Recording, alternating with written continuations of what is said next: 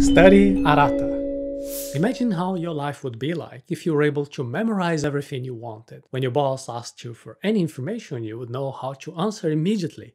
When you had to take a test, you would pull up memories and you will know all the answers. You would never again forget your password, where, where you left your keys, or the name of that person you met at a party many years ago. Imagine the impact that possessing that kind of memory would have on your career, your productivity, in your relationships. For you to have such an incredible ability of memorization, we're seeing in detail how our memory works. In the last three episodes of the series, Study Arata, we got to know the three kinds of memory that exist, and we discovered the processes by which new memories are formed. Basically, you have three kinds of memory that work as if they were a funnel.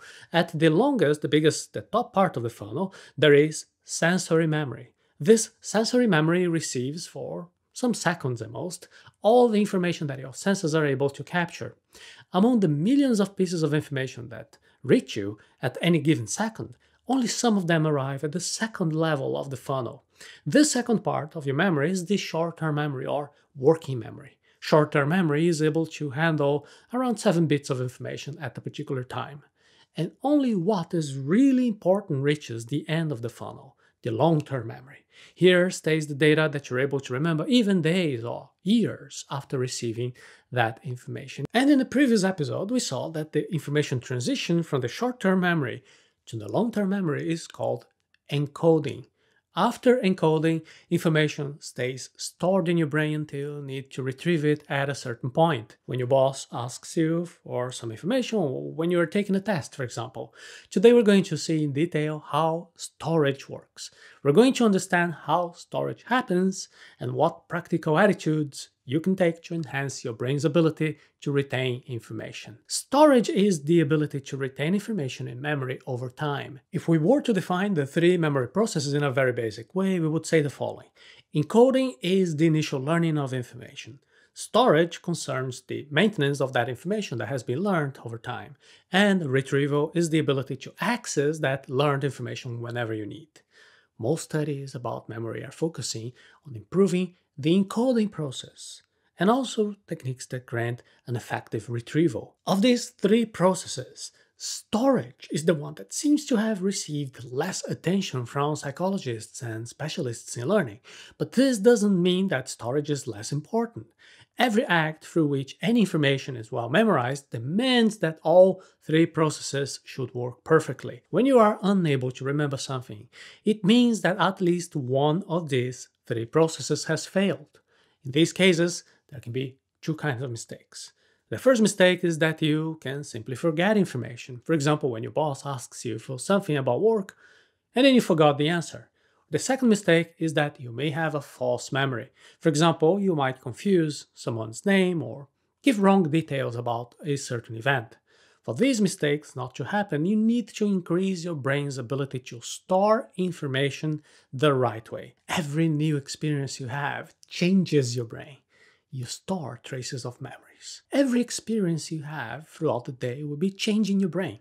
When you see, read, hear, feel something, that experience affects the structure of your nervous system.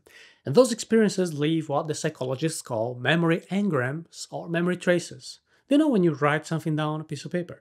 Your brain does something very similar when it registers a memory trace. And when this happens, the very physical structure of the brain is modified. A memory trace is then a physical change in the nervous system that represents an experience that you had. These memory traces are important. Memory traces help you to rebuild those experiences in the future when you try to remember what happened. This period between the memory itself and the moment in which you try to remember is called the retention interval.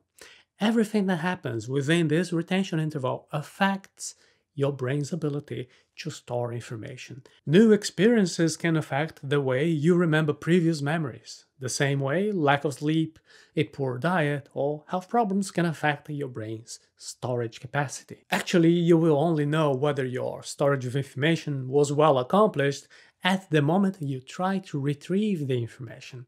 Retrieval is the third and last step of the memory formation processes and we're going to be talking about it in the next episode of this Study Arata series. For the time being, let's see some practical strategies to enhance your brain's ability to store information. You can improve your storage capacity. The secret is to keep your brain fit. Storing information properly depends on the physical formation of memory traces in your nervous system. It is a biological process. That is why the better your biology is, the healthier your body is, the higher will be your brain's ability to store information. And there are three pillars that help you to keep your brain healthy. And they are the same three pillars that help you to maintain your general health nutrition, exercise, and rest. A balanced diet based on minimally processed food should provide you with the vital nutrients that your brain needs to keep a good performance. On the other hand, exercise can be divided in two groups. The first group would be physical exercise that allows the oxygen and nutrients flow and travel to the brain. The second group, mental exercise that challenges your brain to make it stay fit. For example, someone who's constantly learning new things is challenging their brain more than someone who spends their time watching television learning new languages, meditating, handcrafting, playing chess, or doing Sudoku, or even using those mental games like Peak or Lumosity. They help you to keep your brain fit. I've prepared a page with links with some apps that you can visit at arata.se forward slash mental games. It doesn't matter what activity that you do, the important thing is that you keep your brain challenged. And finally, you need to sleep. There are many studies that show the impact that a regular sleep routine has on our learning ability. Sleep deprivation severely affects your memory and many other cognitive functions, and that is why routinely having a good night's sleep is essential for having a good memory. Retrieval of information depends on good storage. There's nothing you can neglect. Now think about these three processes by which memories are formed as if they were a table with three legs. If any of these three legs, encoding, storage, or retrieval, breaks, the whole table will break as well. It is true that there are many other practical and occasional techniques to improve the encoding and retrieval of memories, but a brain's ability to store the information also depends on the attitudes that you can take, and those attitudes will improve your physical ability in general. If you have memory problems, check your overall health.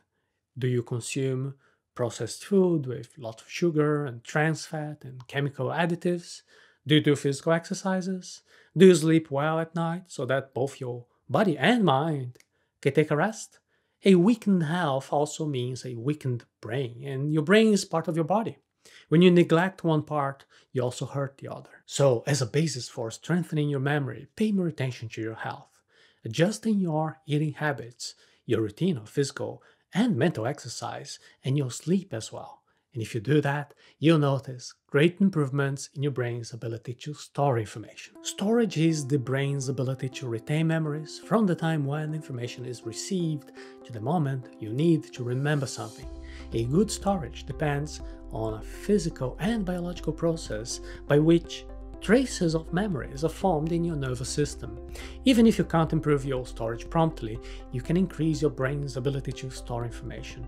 In order to do that, you need to improve your general health, focusing on a balanced diet, physical and mental exercise, and comfortable nights of sleep. And if you're interested in enhancing the power of your brain, I invite you to visit arata.se forward slash intelligence.